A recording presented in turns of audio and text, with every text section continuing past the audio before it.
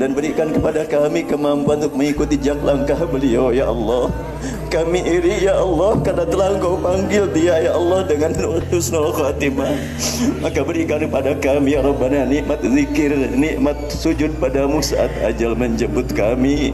Sebagaimana engkau panggil imam kami ini dalam keadaan ibadah padamu di tempat suci mu dalam keadaan suci Allah ya Rabbana ya Tuhan kami hanya Engkau yang Maha tahu kapan ajal menjemput kami dan di mana kami kedatangan ajal. Kami mohon ya Allah sebagaimana Engkau perlihatkan kepada kami almarhum ada dalam keadaan menghembuskan nafas terakhir dalam keadaan suci di masjid hari Jumat. Kami mohon Engkau juga berikan kepada kami nikmat zikir saat ajal menjemput kami ya Allah.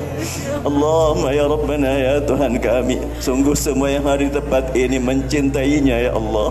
Dan kami mencintainya semata-mata kerana iman kepada Engkau